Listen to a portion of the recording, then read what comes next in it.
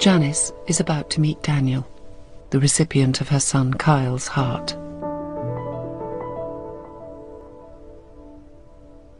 I'm just looking so forward to it. Really, really am. You know, the end of five years of um, aching, just aching, just to meet this boy and just put my hand and feel that bump, bump, bump. A year after the transplant, Janice received an email from Daniel. Hello, Janice. It's very difficult for me to know what words to use. I feel hugely for your loss and grateful beyond words. To tell you a little about my situation before the transplant, I've, I've been waiting for over a year. I would be pleased to meet you and wish to ease your suffering in any way I can, although I'm quite a shy person, so please be gentle with me. Forever grateful, Dan. Daniel was born with cystic fibrosis, an inherited lung disease. The lungs are easily infected and breathing is difficult. Daniel's life expectancy was not good. When I was 21, my health started to deteriorate. The speed of the deterioration increased quite rapidly, and I'm pretty certain that I was about two months away from dying when I actually got the call. This call came. I knew that I was pretty close to death, so this was it. Janice is still coming to terms with what happened to her son's heart. That heart is the same heart that beat inside me when I was having him. And his heart is the most important organ to me. Yeah, it's his heart. It's his life, isn't it?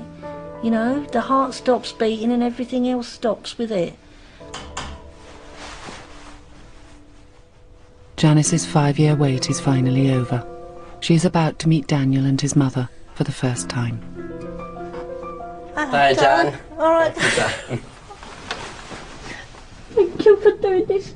Thank you so much for doing this. It's my pleasure. Thank you. It means so much to me, it really does.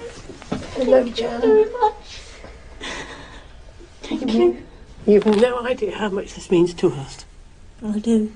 I do. Honestly, Thank I you. do. Yeah. Come on. Come in. Yeah, Sit down. Have a cup of tea. So, how are you keeping?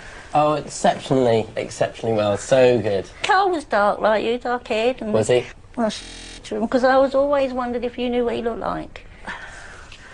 That is Kyle. Wow. Yeah, it's not. It's, it's more olive skinned. Look, it's what more olive skin. That was when he loved animals. Oh, He loved animals. handsome. Uh, yes, he was a very good-looking boy. A really beautiful. Carl was the one that started this all off. My son, you know, and I love him and I miss him terribly, but I'm now. I've, I've felt that little old beat of his heart. It's not as strong as what it was because it's through two layers of clothing, but it's still beating on, and that is what I, I've been waiting for for five years. And I am so pleased that I've met you. I really So- am so pleased that I've met you. That I can put a face to this, this mystery person, you know. And Carl's not gone completely. I know it's not Carl's heart anymore, but he's still got part of me in that heart. Yes, And it's I still understand. going on. Yeah. You know, and hopefully you'll go on and on and on Absolutely. and on. He's And it living must a be- life now that we would never have thought possible, even even when you were born, really, ha- would we, darling? No, I'm doing things now that are just. Um, I just didn't even consider it was like rock climbing. Rock climbing and Uh, do you know, uh, that's really good because Carl was a bit adventurous like that. yeah. Oh, yeah. Gosh, he wanted to be a paratrooper.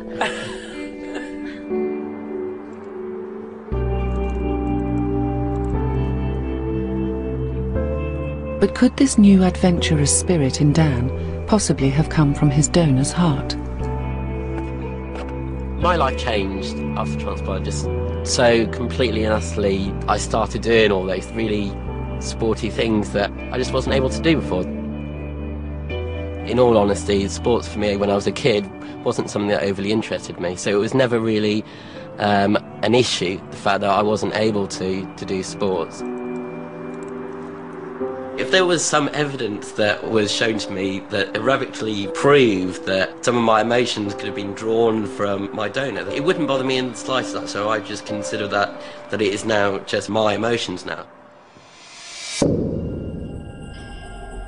Presently, research shows a personality change reported in 5 to 10% of heart transplant recipients.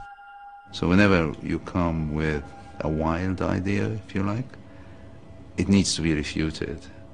And if we can't refute it, maybe there is something there. The information that exists in a human being is transferred from one to another in this solid organ. So it's, you know, certainly the possibility is there. With new evidence that an organ like the heart could have its own unique type of intelligence, we are moving towards an understanding of how the heart, in collaboration with the brain, has a role to play in interpreting the world around us. The heart may be, based on current science, a sentient, thinking, feeling, remembering organ. That's the story. The transplant patients are some of the data. If that's true, then we ask the question have we been thinking without a heart for all these years, or at least not as much with it as we should? If that's the case, we better wake up and have a heart. And for those that experience this phenomena firsthand, it is important to take it seriously. I don't think it's just a pump.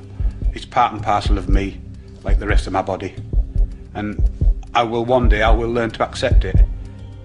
I honestly don't care what people think. I know in my heart of hearts that what happens is what happens. I'm living with a part of him.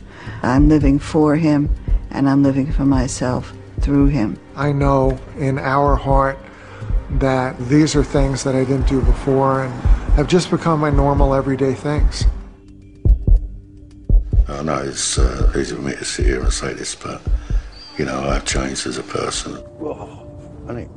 One day, Jim and Maggie hope to find out if this new poetic and romantic Jim has come out of the blue or from his donor. He's put like we're, we're twins, we feel the same pain and this, that, and the other, like, It's you like know. two roses in a flower bed, aren't we? Yeah, two two roses in a flower bed. Yeah.